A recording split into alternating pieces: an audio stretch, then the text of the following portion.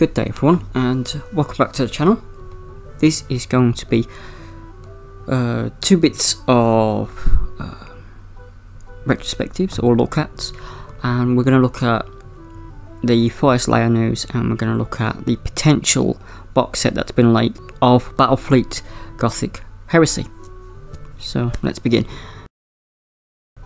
So first up is the Fyreslayers. Now Fyreslayers were an interesting direction taking the Dwarf Slayer archetype into a new direction for Age of Sigmar.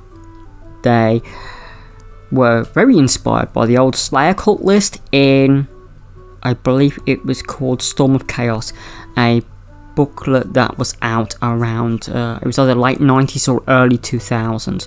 This was Archaon's March South, where it, it basically came together in a big battle at Mindenheim, with Archaon basically having a fight with Valten, who was the reincarnation or avatar of Sigmar, and um, then he, then all of a sudden, Grimgor turned up, and there was a three-way fight. Uh, Archaon got strangled, his horse got stabbed, and um, then everything got reset after that campaign.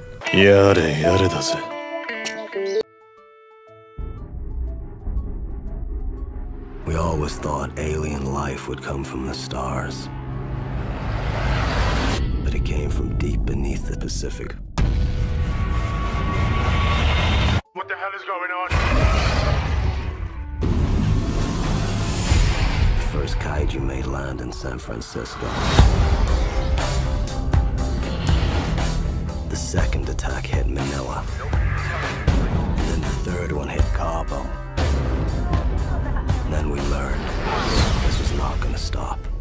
In order to fight monsters, we created mon- Reset that clock! Then again, that was largely ignored for the next couple of editions, so it's what you make of it, yeah, in, to be honest. But, but the most important part of the Slayer Cult Army list was it gave you new ways to play Slayers. It included the Long Drong Slayer Pirates, which were awesome, and included the Goblin Hewer, a um, machine made by Malakai Makaisson, which basically threw axes at people.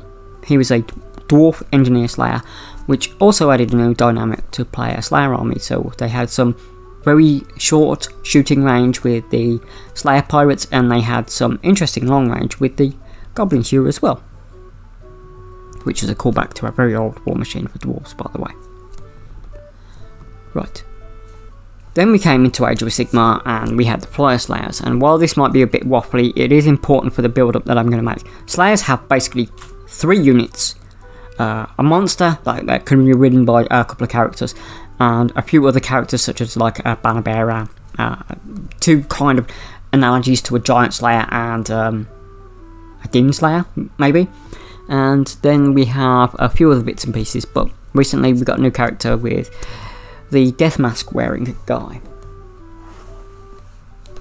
Slayer, um, uh, Fyreslayers obviously need a bit more than that in my opinion. The fire pikes do give them some range, the throwing axes do give them some range, but there's no artillery.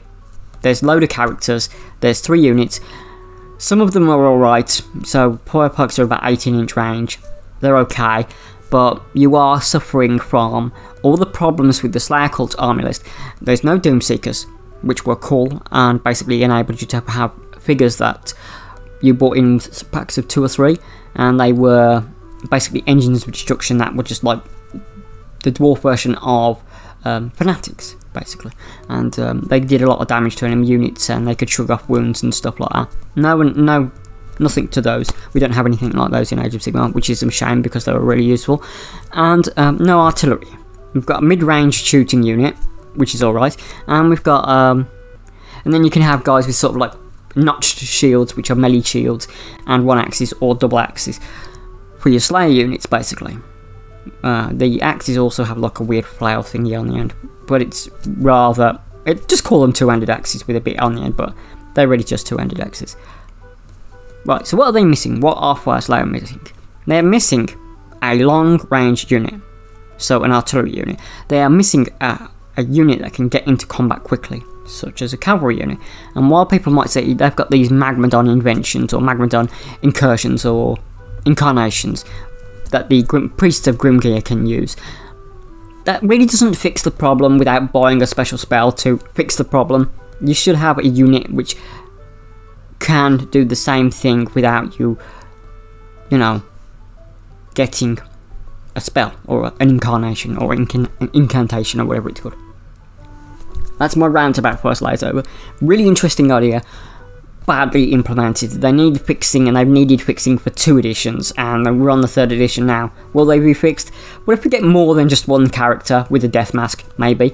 But I don't see any hope for them because I'm sure that they're just going to be folded into a, a comprehensive dwarf book or Duradin book. That's what I'm hearing the rumours about and that's what's been going around for a long time now. That they're just going to be folded into one book going from that, we're coming to the very important news Battlefleet Gothic Heresy, which just dropped. Battlefleet Gothic was a game where you played spaceships and you had spaceship pilots. There's been a couple of video games which, in my opinion, were very miss. Uh, they didn't. I didn't enjoy them. So, I know a lot of people did, but I just didn't like them. What? Will Battlefleet Gothic Heresy recapture the original Battlefleet Gothic? Maybe. We'll have to see. But if they're just going to have Chaos and Imperial fleets and nothing else, then no, no, it's not. We're not going to have Eldar. We're not going to have Tau. It's set at a certain period of time. So Tau don't even exist at this point in time. You could have Orcs. You could have Eldar.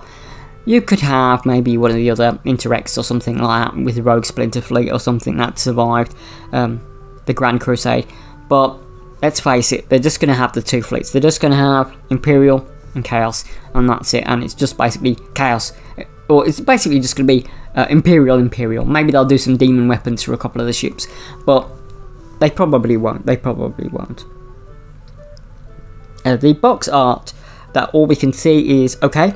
It's okay. It reminds me of the original designs on the ships. You got the two different types. So the Chaos are more like weird triangular, like squished down ships, and the the Imperial ships are more like lengthways, horizontally, horizontal, like squished in, uh, but on two sides, so they're like thinner, thinner. But you can see by the image anyway. But but Games Workshop has been thumbing the old world now, or, or showing off bits and pieces for the old world for a good few years. No closer to no closer to uh, release. I think they should have set it later because although the Horus Heresy fleet battles would be interesting, it needs to be seen whether this is just a one-off box like um, Dreadfleet box or if it's going to be something that's going to be supported like Titanicus or whatever. But we don't know. We don't know. Uh, also, Man O' War should come back before that, in my opinion. But there we go. That's just me being uh, someone who's talking about a few bits and pieces that have arrived over the Christmas holiday. There we go. That's it. So thank you all for your time. Do take care of yourselves. That's two bits of information in in one video. I thought about making two separate videos, but I thought I'd just include it in one because that'll be easier. So thank you all for your time. Do take care of yourselves, and bye bye.